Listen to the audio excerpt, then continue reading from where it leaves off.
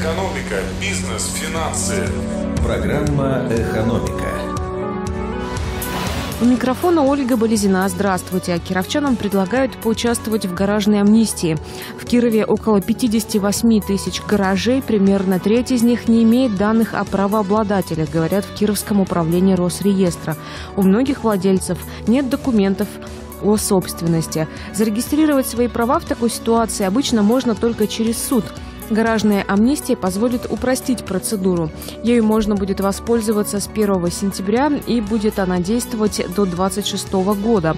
Чтобы оформить такой объект в собственность, нужно обратиться в МФЦ с заявлением о предоставлении участка под существующим гаражом с приложением любого документа, который подтверждает факт владения. Амнистия также распространяется на наследников, получивших или построивших гараж до 30 декабря 2004 года, а также на граждан, которые приобрели гараж по соглашению. Программа «Экономика». Полмиллиарда рублей потратят на дворы и скверы в Кировской области. 365 миллионов по проекту формирования комфортной городской среды направят на благоустройство дворов и общественных территорий. 92 миллиона на проект Кирово-Чепецкая река времени, который победил во всероссийском конкурсе малых городов и исторических поселений. Это будет парк с амфитеатром, кафе, детской площадкой и спортивным павильоном. Кроме того, в 2021 году реализует проект «Заводной Амутнинск» и будет завершено благоустройство благоустройства набережной в Советске. Экономика на 101 FM.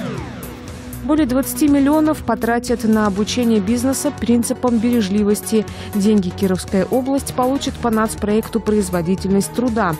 Их направят на создание регионального центра компетенции в сфере производительности труда и так называемой фабрики процессов. Они будут заниматься обучением сотрудников предприятий методом бережливого производства, в том числе и руководителей. Сейчас повышением производительности труда в рамках нацпроекта занимается 11 предприятий Кировской области. Экономика. В завершение о валютах на сегодня официальный доллар 76.38, курс евро 90 рублей 18 копеек. Ольга Болезина, новости экономики в Кирове. Программа «Экономика». На 101 FM.